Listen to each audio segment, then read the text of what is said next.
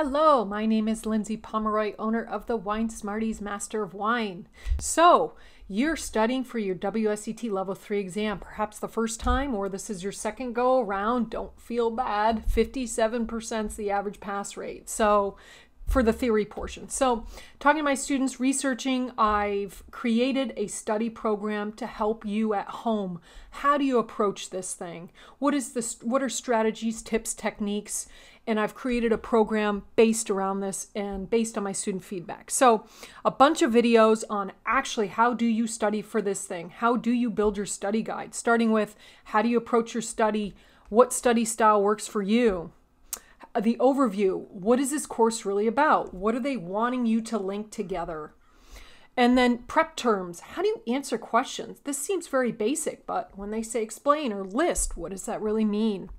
And then here's the real crux of your study guide building and your approach is study tips, human natural factors, human factors in the vineyard, human factors in the winery. So in this video, I go through how do you connect the dots? How do you create um, a system, a strategy, an approach in your studies that locks in the information so it's super clear?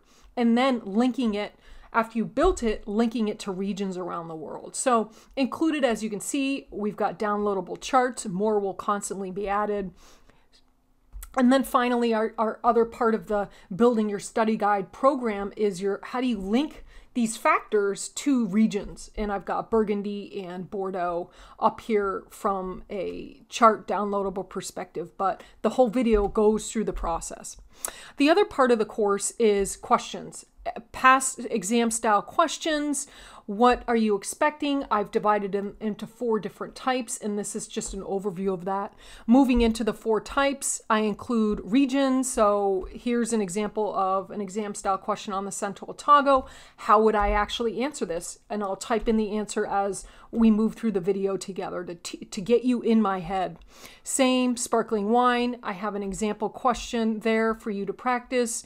Grapes, what sort of approach, what sort of questions will you get with grapes? Storage and service.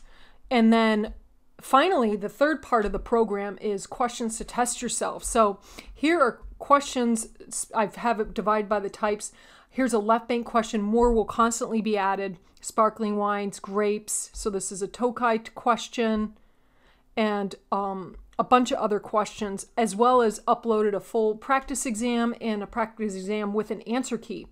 Now, the newest thing I've added is personal feedback. So if you want to upload your feedback, then you can do so. There is an additional fee for that, but overall, this is a great if you really feel like, hey, I've made a bunch of charts, I want to make sure I'm on the right track, or I've done these practice exams, I want direct feedback from me. That's what this is about. Anyway, I really hope you love the program and this helps you pass, helps you get clear, because that's my goal. Cheers.